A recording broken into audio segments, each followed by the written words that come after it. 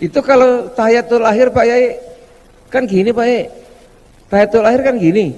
Sekarang banyak gini Pak. Banyak gini. Masjid untuk ibadah. Niat kita ke sini untuk ibadah bukan yang lain. Kalau mau politik di luar.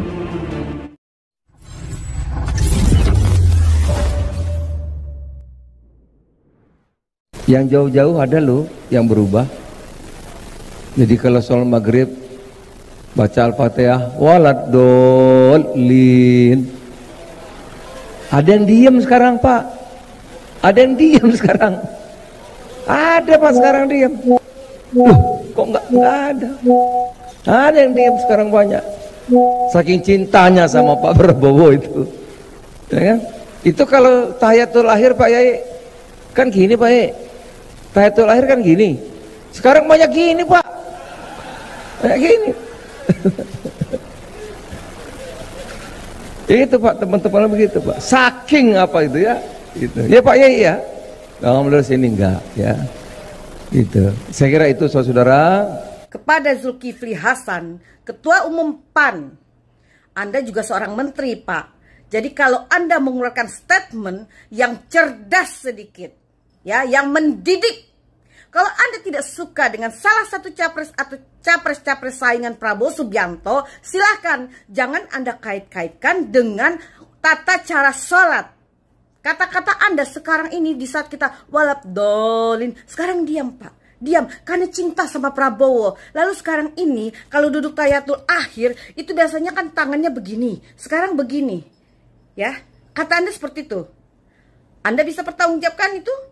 Kalau tidak Anda menistakan agama, seorang ketum partai berbaik-baiklah bersikap dan berbicara. Walaupun Anda mendukung Prabowo Subianto, tolong jangan menyinggung-nyinggung agama dan capres. Kalau sekali naik, sekali turun, asyhadu an la ilaha illallah, turun mazhab Hanafi.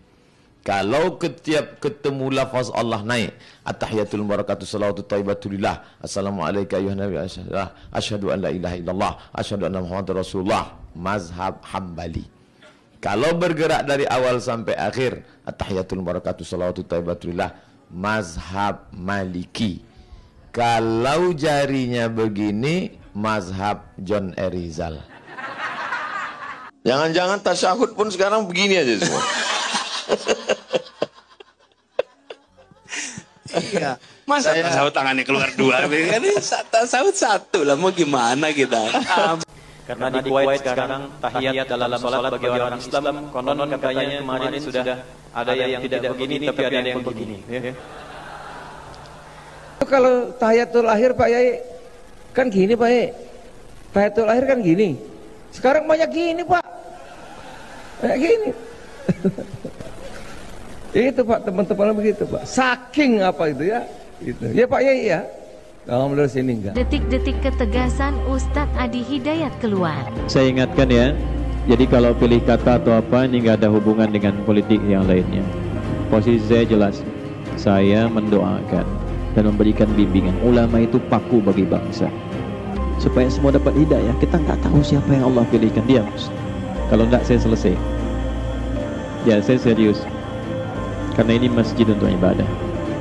Niat kita ke sini untuk ibadah bukan yang lain. Kalau mau politik di luar. Ingat ya. Saya ingin semua diikhlaskan oleh Allah sehingga siapa pun yang terpilih Allah tetapkan diberikan hidayah oleh Allah Subhanahu wa. Ya. Menteri Perdagangan Zulkifli Hasan mendapat kecaman dari para netizen.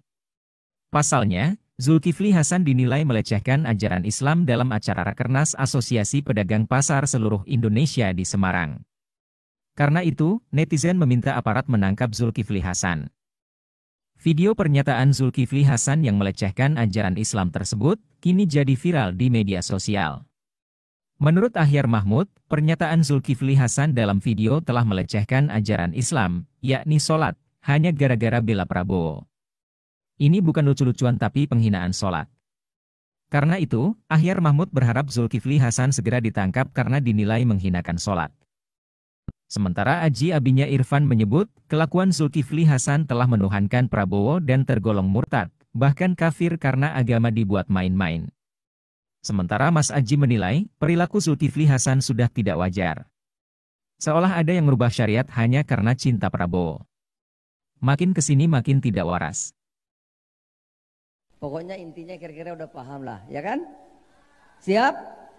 Hmm. Saudara-saudara. Gimana? Tapi di sini kan aman ya. Saya keliling daerah Pak Anu, Pak Kiai, Pak Kiai Toha. Sini aman sini. Jakarta nggak ada masalah.